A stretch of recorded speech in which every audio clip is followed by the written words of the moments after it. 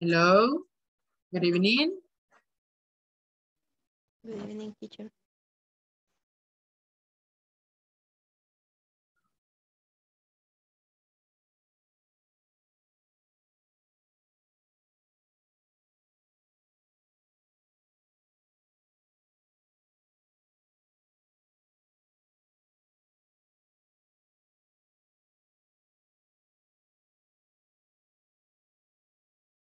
So it's time to um, to begin another week in another session. So we are going to start with a week number two. And we are going to start with session number five. So uh, we are going to start with this new week.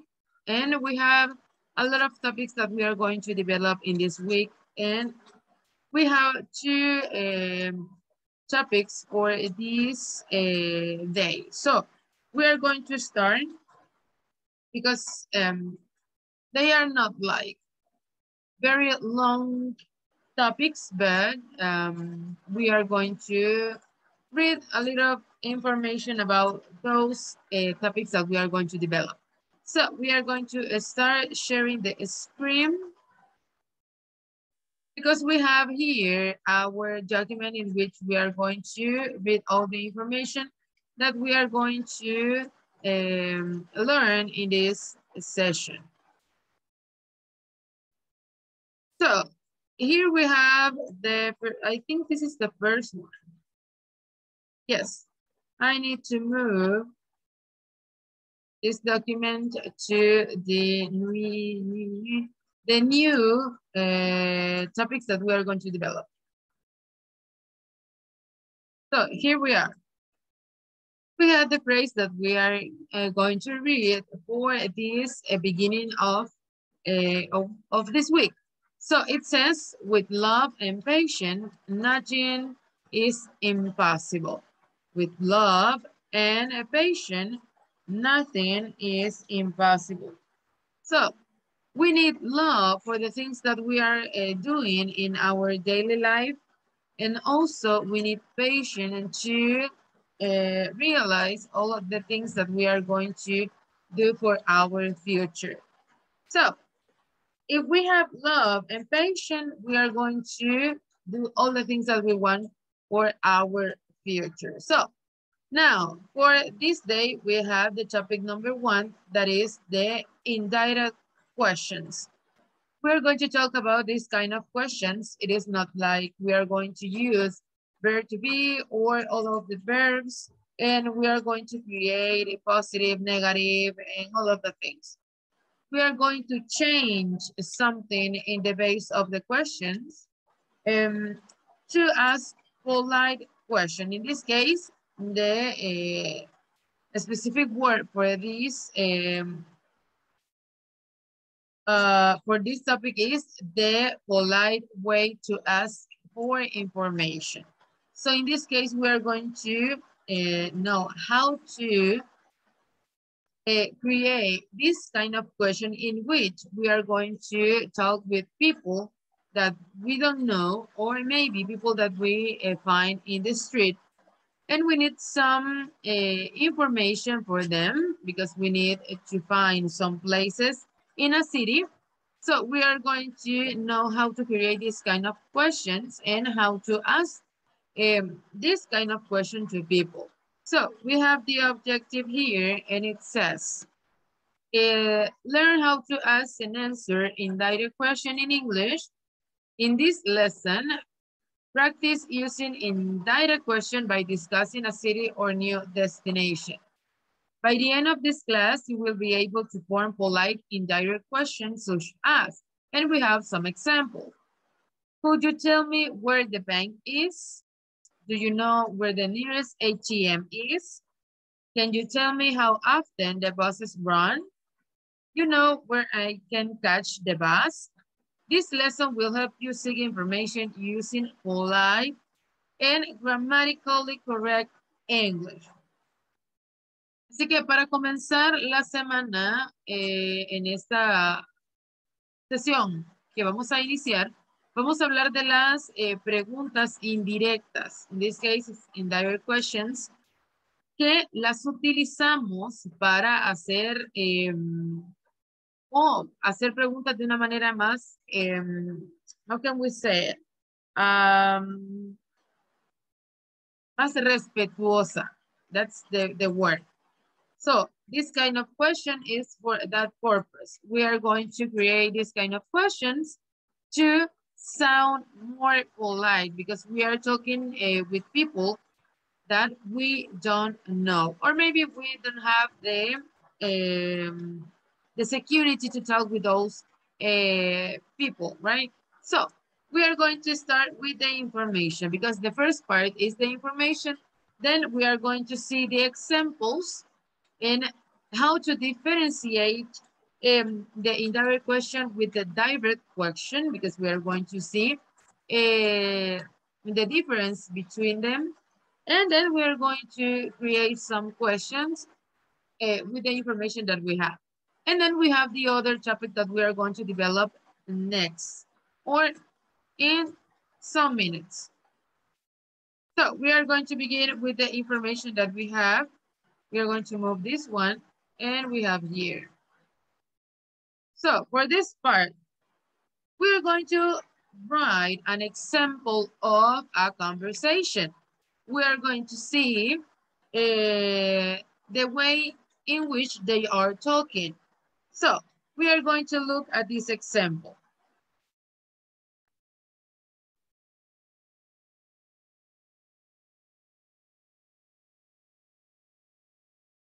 We are going to mark the conversation like this. So we have me, we have two people in this uh, conversation, me and person in the street. Why we are using a person in the street? Because we need to have information for a place and we are uh, asking for direction or something like that in the street. So me and I said, Excuse me. Could you tell me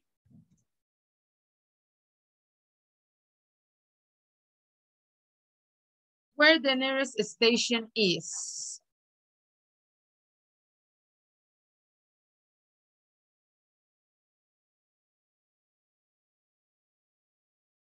And we have the person in the street.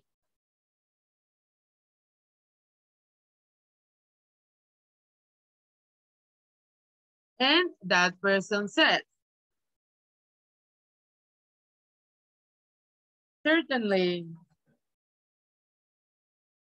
it's along that road on the right. And I said, thank you.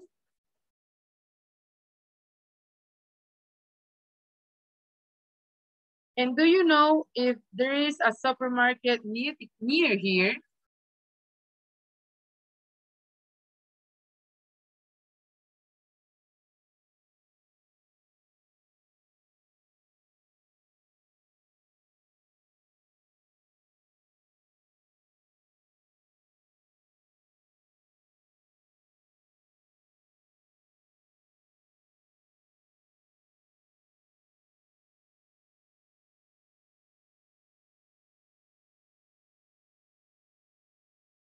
And the person uh, answer me.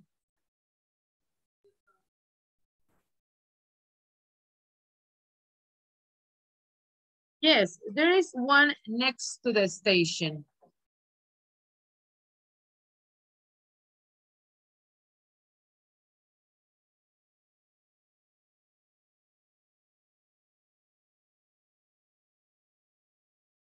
And I said, Thank you very much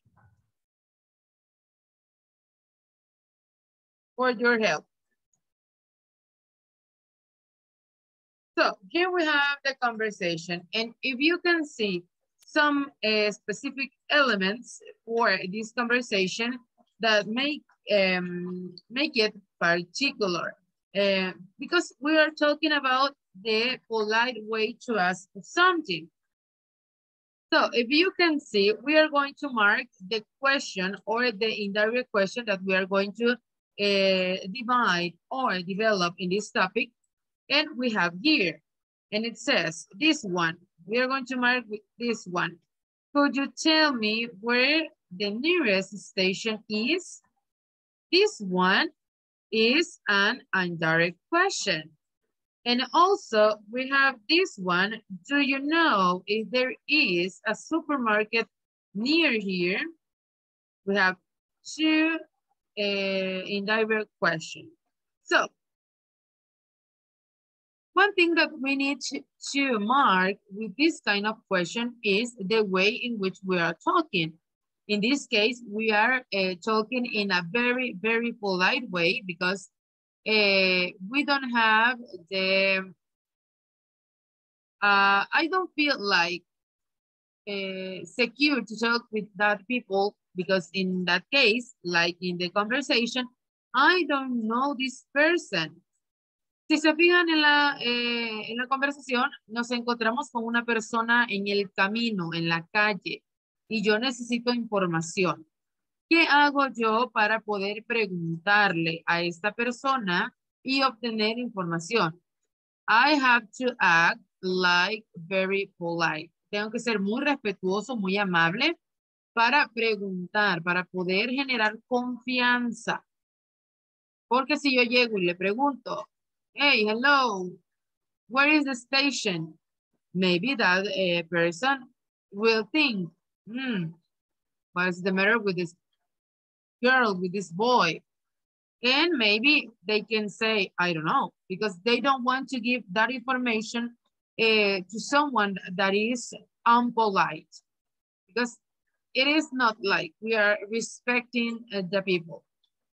So in this case, the indirect questions um, help us to gain information from people and also it's for um, showing that we are acting like very polite. So in this case, we are going to know how to create this kind of questions and we are going to read some information for this kind of situation. Uh, because it is not like like very long information. It's not very complicated to understand and to apply this kind of question. But there are, um, they are very, very important that we can ask in this kind of way because we are going to sound polite with other people. And this will help us to um, meet new people in this case because we are going to establish a conversation with those uh, person in the street or even in the supermarket and the hospital, wherever we are. So we are going to uh, read some information about uh, this kind of question. So it says that uh, we use the indirect questions when we are asking for help in the street. This is very important we use indirect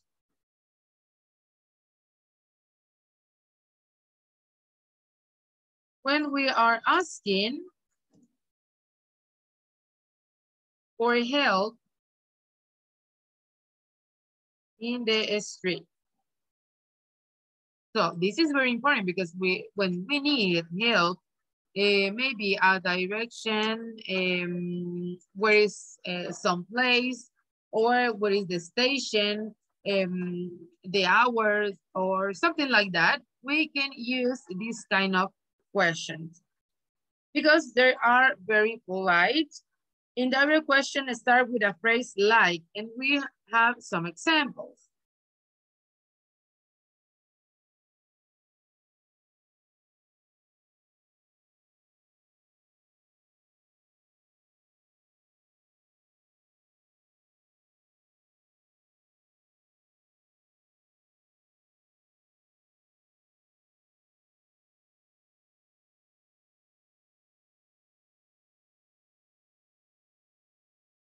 So we have here that the indirect question start with a phrase like, could you tell me? Another one is, do you know?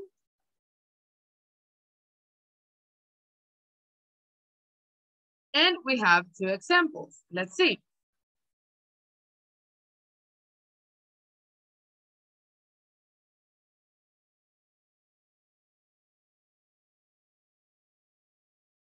We have a direct question and an indirect question. We are going to see the difference.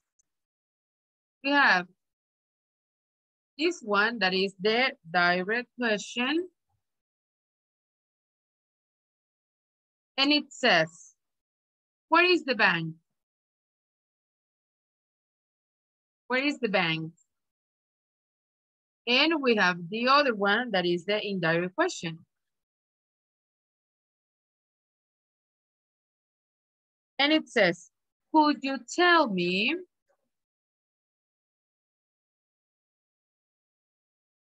where the bank is?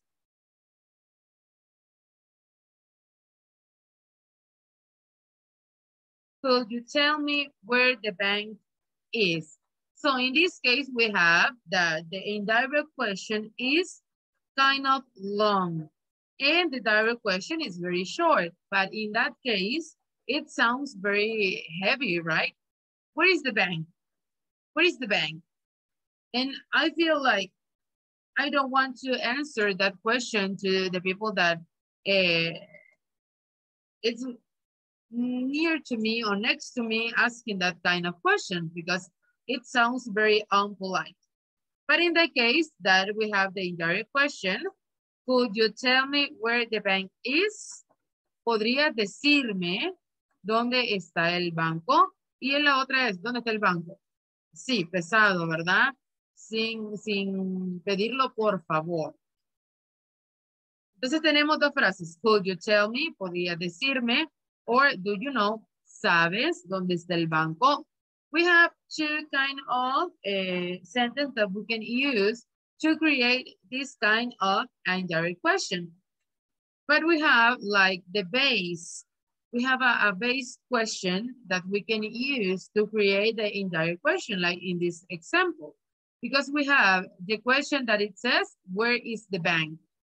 And then we can transform that question to an indirect question, adding, could you tell me where the bank is? So it says that in the indirect question, we put the verb is after the subject. In this case, we have this one in red. We are going to mark this one in red is the subject. So we are going to write the verb after the subject.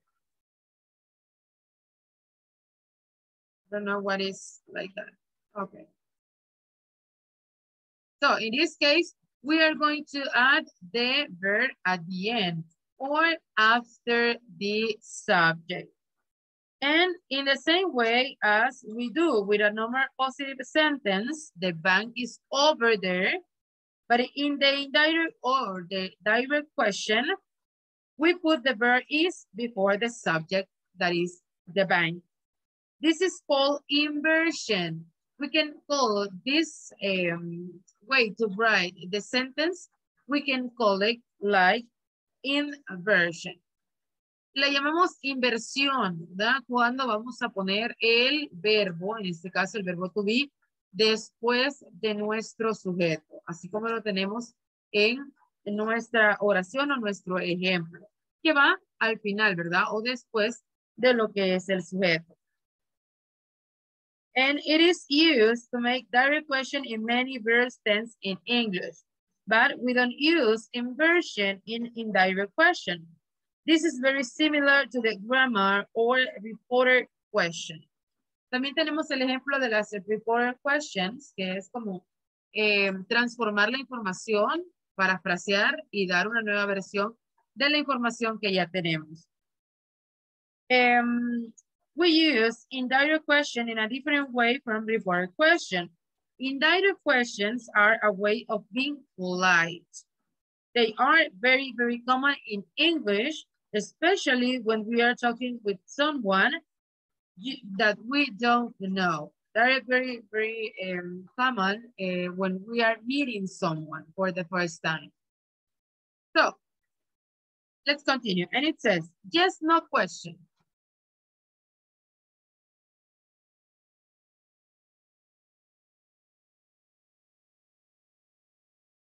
So we are going to create yes, no questions. So we need to know how to create them. So it says to make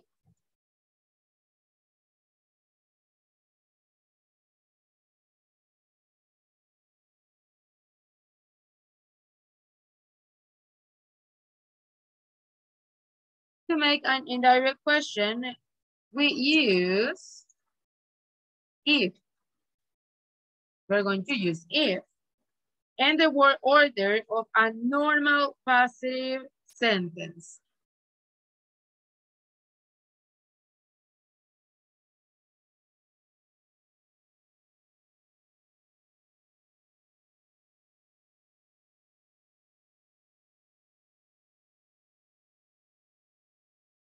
So in this case, to create this kind of question, that is the yes, no question, we are going to use if but then we are going to use the same uh, word order that we are going to use for a positive sentence.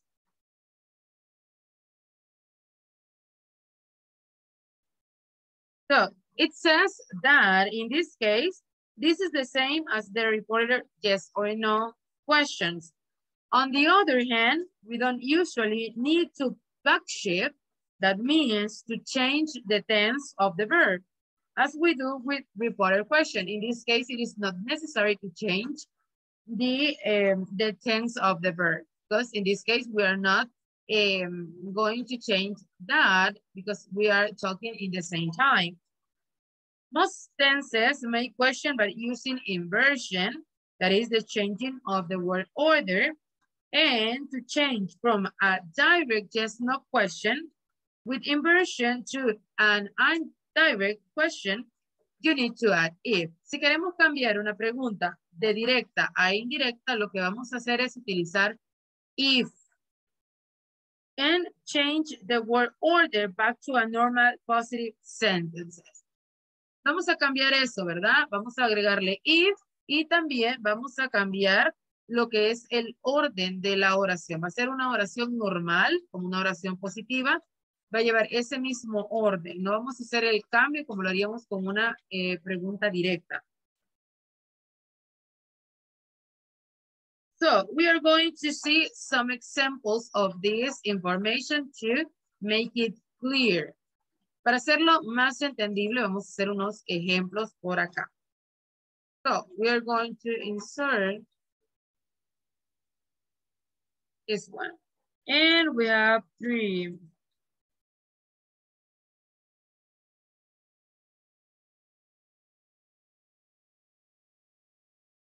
12, 14. Like this, because we are going to see the uh, tenses and the examples of direct and indirect question. We are going to see the same examples in two different kind of situation. So we have in the first one, verb tense. Vamos a ver los tiempos, ¿verdad? De los verbos y cómo hacer preguntas directas e indirectas. So we have here direct question. And then we have here indirect question. So we have the first one and is present simple with be. Present simple with be. And we have the direct question and it says, is he Spanish?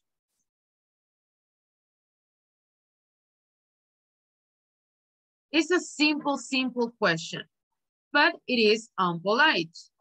So we are going to transform this question and we can use the, um, the present simple in this case.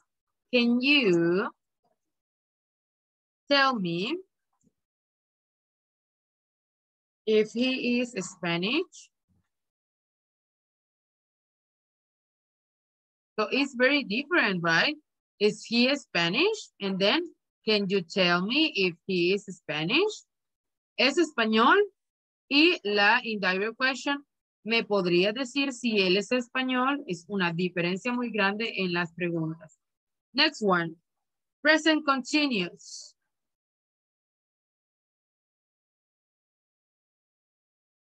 And we have the question. Is the restaurant closing now?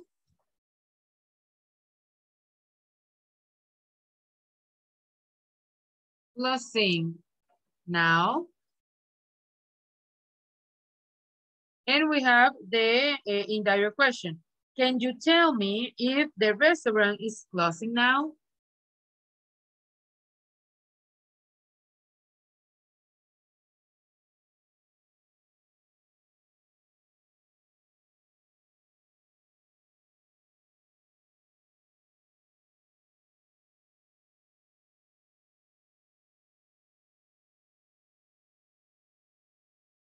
¿El restaurante está cerrando ahora?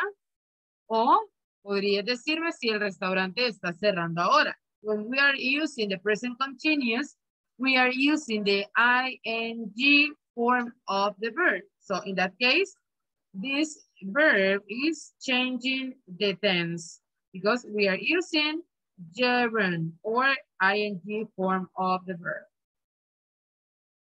So that, that's why we are using the present continuous. So we have another one. N is past simple with be. Past simple with be. And we have the question. Was he late for the meeting?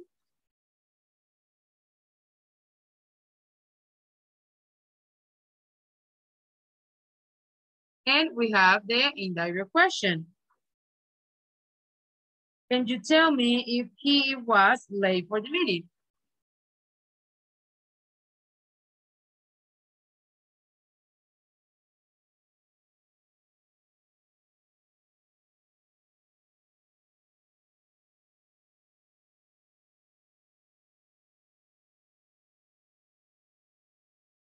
We have another one. As continuous.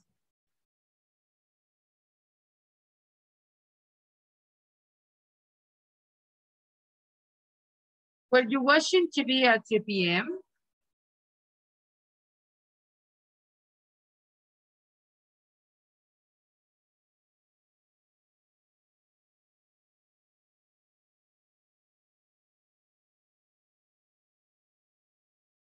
Can you tell me if you were watching TV?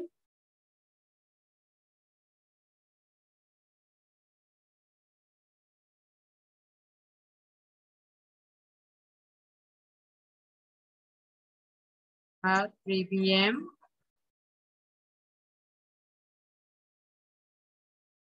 Then present perfect. And we have the example. Has Lucy been to Mexico?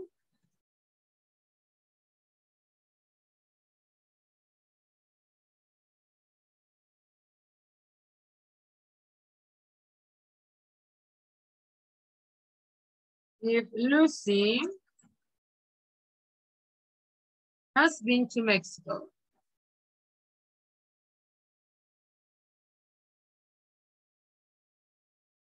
Present perfect continuous.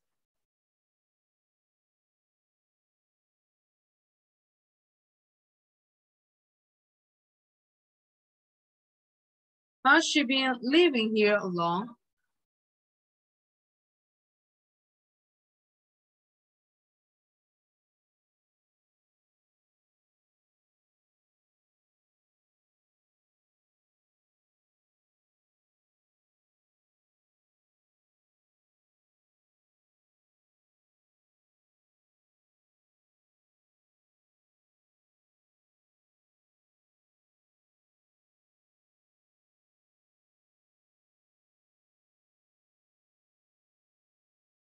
Then we have past perfect. We have the question, has she found this job when she moved here?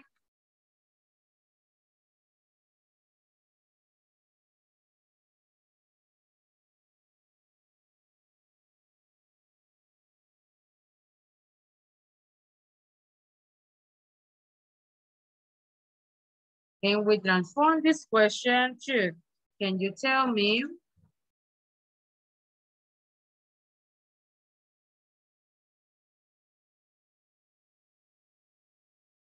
she had found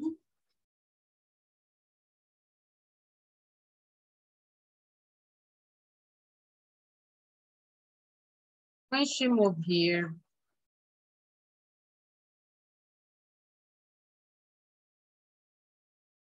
Then we have past perfect continuous.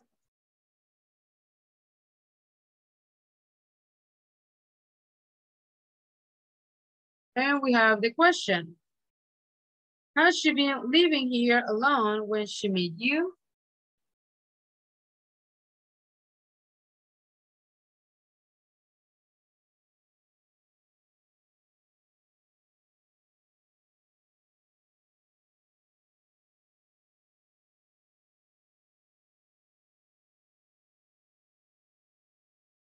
And then we add, can you tell me if she had been living here alone when she met you?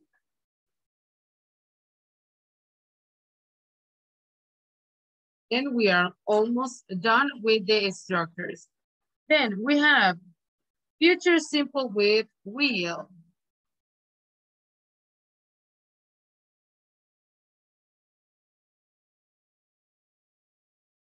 And we have here, will she start her new job next week?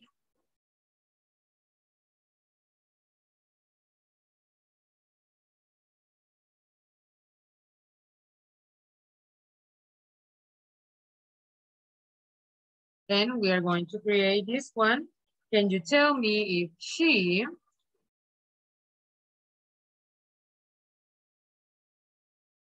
um, will start her new job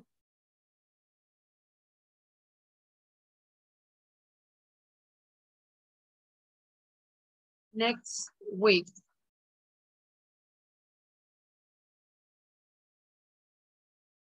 Future simple with going to.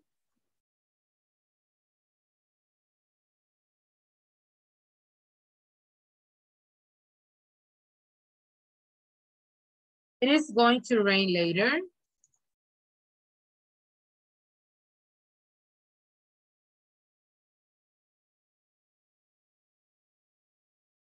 Then we have, can you tell me if it is going to rain later? And we have three more. Future continuous.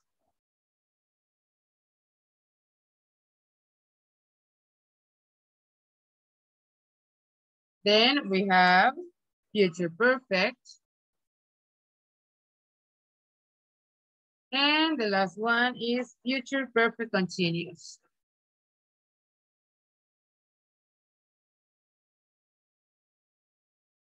And we have the question here, and it says, will Lisa be meeting the boss later?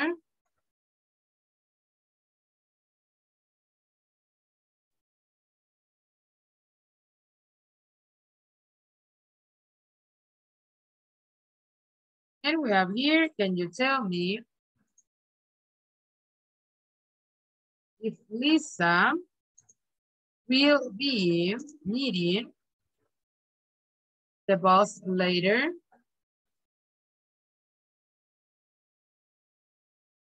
Will he have finished?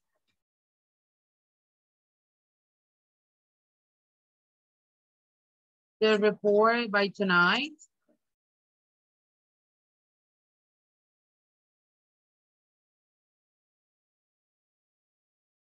Can you tell me? If he will have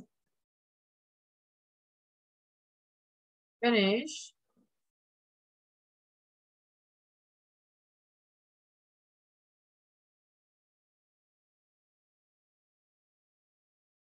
by tonight. And the last one. Will he have been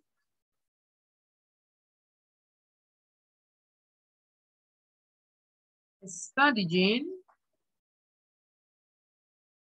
French for 20 years when he retires. And we create the other one that says, can you tell me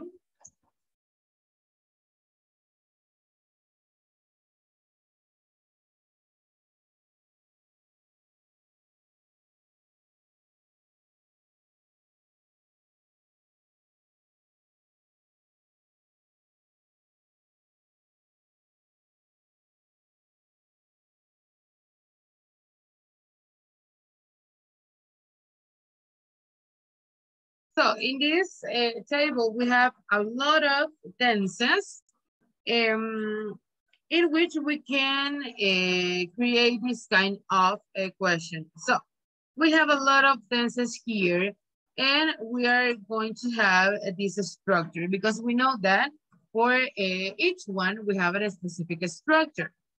So in this case, it's like an example of all the tenses that we have and um, what kind of question we can create.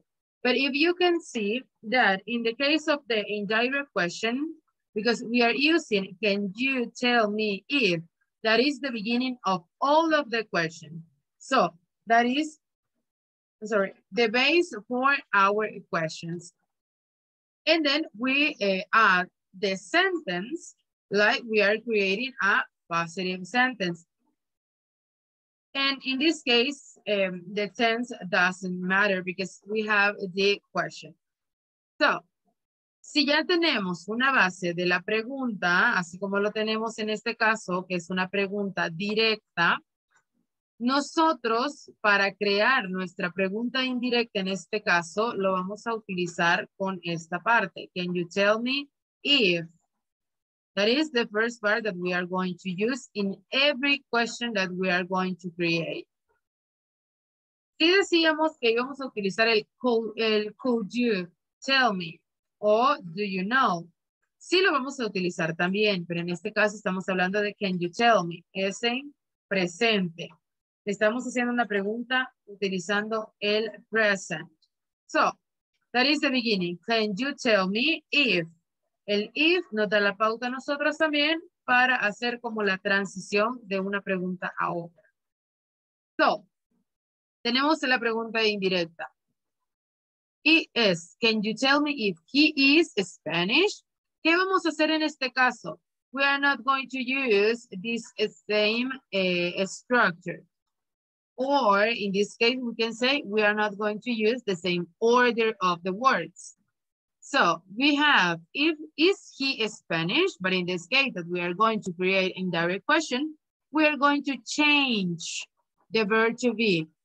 And then we are going to create like a, a positive sentence. He is Spanish. That is the change. En ese caso, cuando ya estemos hablando de las preguntas indirectas, como obviamente el verbo to be no es el que nos va a ayudar a nosotros a crear la pregunta, ya no necesitamos poner primero el verbo to be y luego el, el, ah, el subject, sino que vamos a hacer como que estuviéramos creando una oración positiva en cualquiera de los tiempos que lo estemos haciendo. So, can you tell me if he is Spanish? Can you tell me if the restaurant is closing now? Can you tell me if he was late for the meeting? It's the same question, but with some changes. Solo le vamos a agregar la frase de can you tell me if y luego la misma pregunta solo la transformamos a una oración positiva and that's it. We have the question that we are going to use to ask this kind of polite question. Eso es todo lo que vamos a hacer. No necesitamos más. Yes, no question with tenses that use do, does, or did Sometimes you want to make an indirect question using the present simple of any verb except be, or the past simple of any verb except be. This tense make direct question by using do, does, or did. When we want to make indirect yes, no question, uh, we are going to use if. And we don't need do, does, or did. En este caso no vamos a utilizar el do, does, or did si utilizamos el if. WH question in the same way as we report WH question, we use the question word and the word order of a normal positive sentence to make indirect WH question. Lo mismo pasa con las preguntas con WH eh, words, WH words. Eh, vamos a crear lo que es eh, la palabra con la oración, como que si estuviéramos hablando de una oración positiva. So, then it says to change a direct question to an indirect question for tenses that make question using inversion, you use add if and change the word order back to normal positive sentence. Simplemente agregamos el if y ya sabemos que tenemos que cambiar el orden de las eh, palabras para crear una oración positiva y ya tenemos nuestra indirect question. So, one common problem with this kind of question, it says that it can be difficult to remember to put the verb after the subject, especially when the indirect question is in the present simple tense of be. For example, we need to say, could you tell me where the station is? Not could you tell me where is the station? Or could you tell me where is the station? So in some cases, it is necessary that we are going to use the verb to be after the subject. And it can be very hard for us to remember to write the uh, verb to be in the correct form. But in this case, it's just to practice this kind of direct or indirect question. So um, then we are going to let the indirect question in that uh, space and now we are going to talk about the other topic. Um, es un poco con, eh, confuso, ¿verdad? El uso de los direct and indirect questions porque tenemos que hacer algunos cambios y eh, eso. But um, if you can practice asking indirect question, it will be very, very easy to understand the uses of this kind of question. So remember that if you, um, if you are going to ask for information or for help in the street, you need to use this kind of uh, question because they are very, very polite. So now we are going to start with topic number two for tonight. And we have adjectives and nouns. This is a different topic because we are going to talk about um, uh, adjectives and also we are going to talk about nouns. And we are going to uh, talk about the difference between uh, the different kind of adjectives and the uses that we can uh, have for them. So the objective says that build your English language skill with this lesson on adjectives and nouns. By the end of this class, you will learn how to express your opinion about houses and apartments. Additional, you will be able to describe your house, or apartment in English and use evaluating phrases such as apartments are too small for pets, houses are too expensive, and houses cost too much money. So in this topic, it's uh, one of these um, very dynamic topic because in this case, we are going to use adjectives. And you know that the adjectives are words that can uh, help us um, describe things, people, and animals. So in this case, we are going to remember what are the adjectives, how many adjectives do we have, um, what kind of words that we can use to describe a specific thing. In this case, houses. So uh, for this topic, we are going to um, create vocabulary. So we are going to create a vocabulary about adjectives that we can use to talk about our houses. And then uh, I will tell you something about uh, tomorrow. Um, tomorrow we are going to describe different houses. I will um, show you different kind of houses and you are going to use the adjectives that we are going to um, learn today. I think if we have time, I, I think we have like 20 minutes. We are going to see. So we are going to create this kind of vocabulary about um, houses and then we are going to practice talking about the houses uh, uh, using the adjectives and also the nouns, but in this case are the adjectives the main topic. So, mañana vamos a hacer una práctica oral donde vamos a describir diferentes tipos de casas e incluso vamos a describir nuestra propia casa. So, vamos a crear vocabulario que tenga que ver eh, con ese tema. En este caso, adjetivos que tengan que ver con las casas. Pero primero vamos a entender qué son los adjetivos. And then we are going to create the vocabulary for this uh, topic. So first, we are going to um, have some information or a specific information about adjectives. Because we are going to make a little review. So adjectives. Let me do this something kind of like this. So first, what is an adjective? That is the question. What is an adjective? And we have some kind of information. And it says, an adjective is a word that modifies a noun or pronoun to make the sentence clearer and a more specific. Adjective answer the following question. What kind? How many? And which one? So,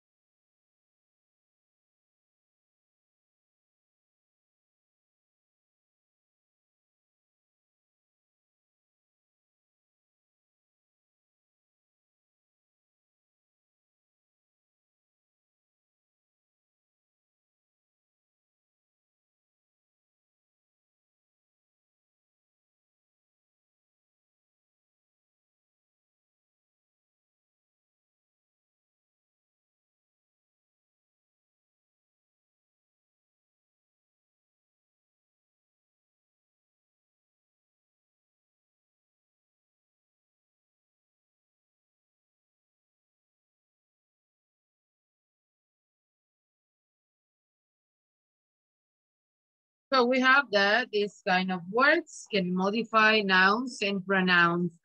And why they modify nouns and pronouns? Because they give more information about uh, these specific things. For example, I have a noun. Uh, maybe I have the word dog. Dog is a noun and I want to say um, more things about the dog. And it says the dog is fluffy, is short, is black, and I am giving information about that uh, word. And in that case, it's modifying the information that I have for that dog. So those kind of words are the adjectives, right? The, the ones that give me more information about a thing or a person, or even an animal. So Adjective usage. Vamos a ver los, los usos de los adjetivos.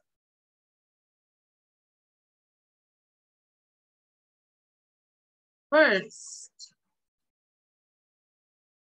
First, first, first. We have, if an adjective is placed after the noun or pronoun, it modifies, it follows the form to be.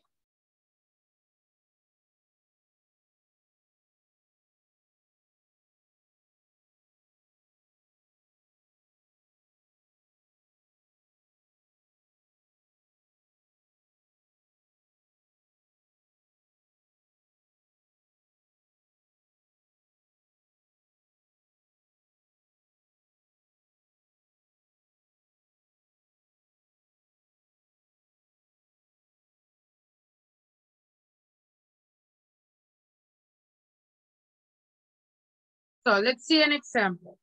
He was always forgetful.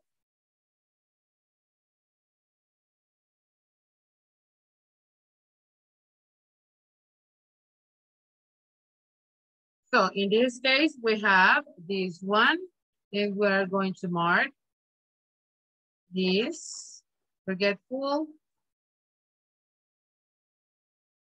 And we have the explanation, and it says, here the adjective forgetful modifies the pronoun he.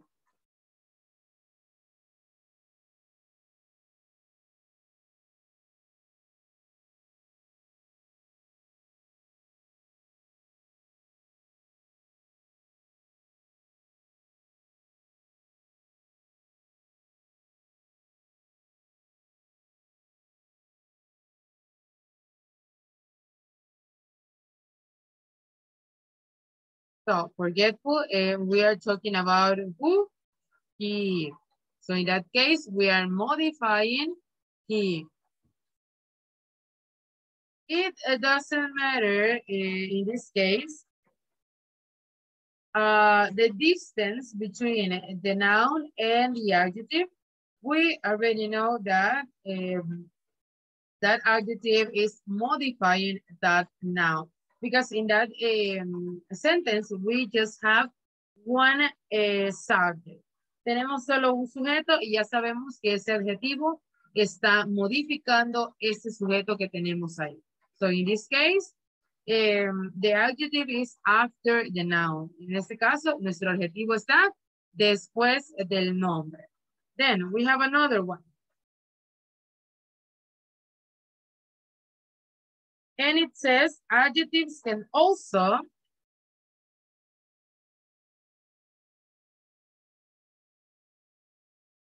follow sense or appearance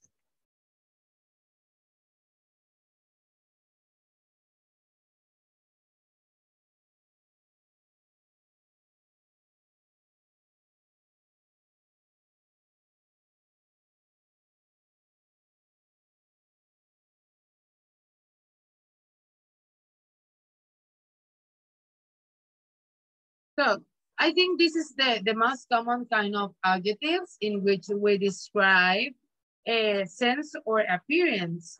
And we have uh, verbs like look, taste, smell, feel, and sound. Mirar, probar, oler, sentir y el sonido, ¿verdad? O escuchar. So in that case, we have this kind of adjective that describe or modify this kind of verbs. So we have the example.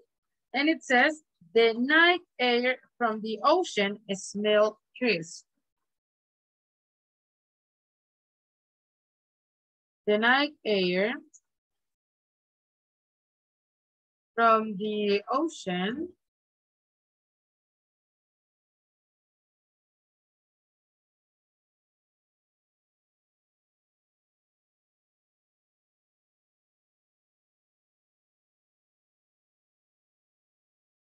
So in this case, the, um,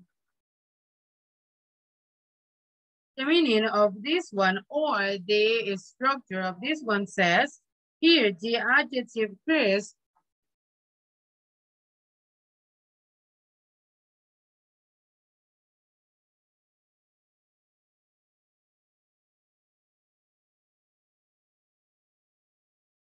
modifies the uh, the hair So in this case, uh, this one, Chris, is modifying uh, this one. This word here.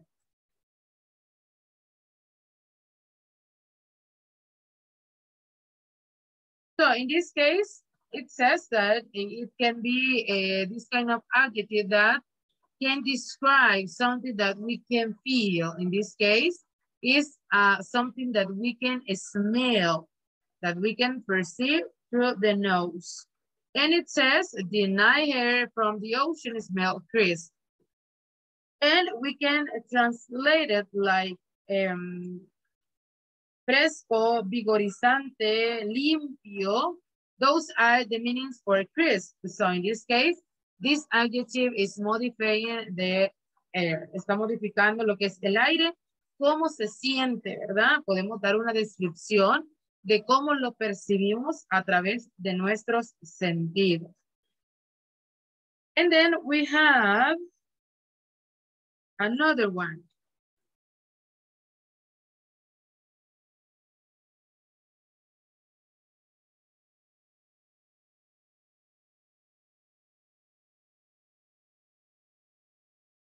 Here. And it says adjective can also be placed before the noun the modifier.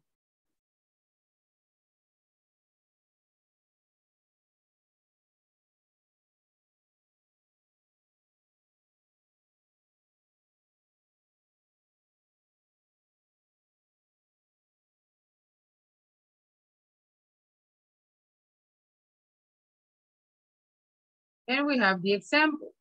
And it says, the colorful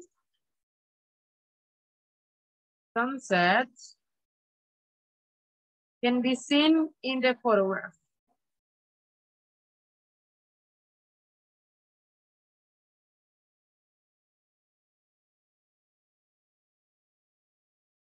So we have here that the adjective colorful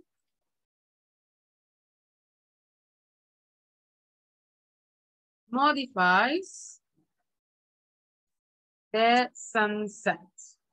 So in this case, um, if you can see, we have that uh, we can add the adjective after the noun that it modifies, but in this case, it can also be placed before the noun it modifies. Así que tenemos dos partes, ¿verdad? La primera es donde el adjetivo va después del nombre que está modificando, pero en este caso va antes del nombre que modifica. So we have here colorful sunset. Está modificando ese nombre y está antes de. ¿Es posible? Sí. Antes o después, pero es dependiendo de la palabra que esté modificando. Um, so tomorrow we are going to talk about the last part of the adjective that are the compound adjective, a, a series of adjectives in which we have different adjectives in one uh, sentence and proper comparative superlative adjectives. And then we are going to have the, um, the practice uh, about the houses. We are going to describe the houses because I will send to you tomorrow, uh, the hour of the class, the different images that you are going to describe. And I will send to the group of WhatsApp because it is um, better to have the image uh, in that place that uh, presenting the image on the screen. So tomorrow we are going to have the exercise. We are going to talk about uh, the houses and how to describe them. So we are going to end the session here because uh, it's time because we are starting the classes five minutes um, after. Yeah. No, we are uh, starting the classes um, five minutes before the hour. So now we are going to end the session. So remember that tomorrow we are going to have the exercise in which you are going to describe houses and your own house. So have a good night and see you tomorrow. Good night. Good night. Bye. Bye.